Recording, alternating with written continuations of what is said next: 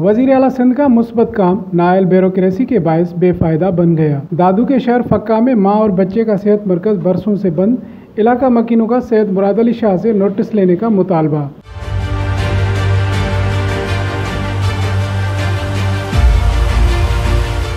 वज़ीर अला सिंध सैद मुराद अली शाह ने दादू के शहर फक्का में शहीद इंजीनियर सैद अली मरदा शाह के नाम से मंसूब जच्चा व बच्चा के सेहत मरकज का तोहफा दिया, पर तीन साल गुजर जाने के बावजूद ये फंक्शनल नहीं हो सका है। जेक टीवी से बातचीत करते हुए फक्का के शहरियों का कहना था कि माँ और बच्चे के सेहत मरकज को बने तीन साल गुजर गए, पर इससे अभी तक कोई फ़ायदा नहीं हो सका, क्योंकि ये सेहत मरकज नॉन फंक्शनल है। वज़ीर अला सिंध और वज़ीर सेहत सिंध ऐसे नहीं दिलाकर जल्द सेहत मरकज को जच्चा व बच्चा के लिए फंक्शनल कराएँ। परेशानियों से निजात दिलाए।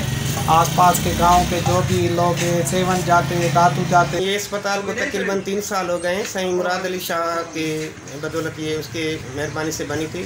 और यहाँ पे कोई स्टाफ नहीं है। लोगों को इलाज के लिए बहुत तकलीफ़ है। लोग दूर दराज तक जाते हैं सेवन दादू की तरफ़ जाते हैं।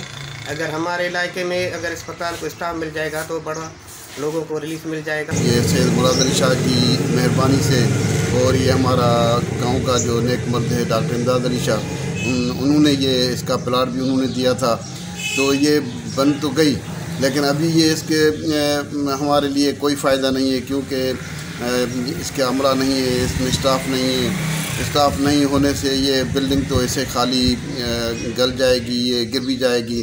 तो इसलिए हम मुतालबा करते हैं सैद मुराद अली शाह से और हेल्थ डिपार्टमेंट से भी मुतालबा करते हैं कि जल्द से जल्द इसका अमला मुकर करके, स्टाफ मुकर करके और ये जो एस एन ई है वो मुकर दे के हमें ये स्टार्ट करके दें ताकि हमारे लोग जो हैं वो फ़ायदा हासिल कर सकें। मुतल हुकाम ने ज़िला दादू के शहर फ़क्का के रिहायशियों का मुतालबा सुन लिया।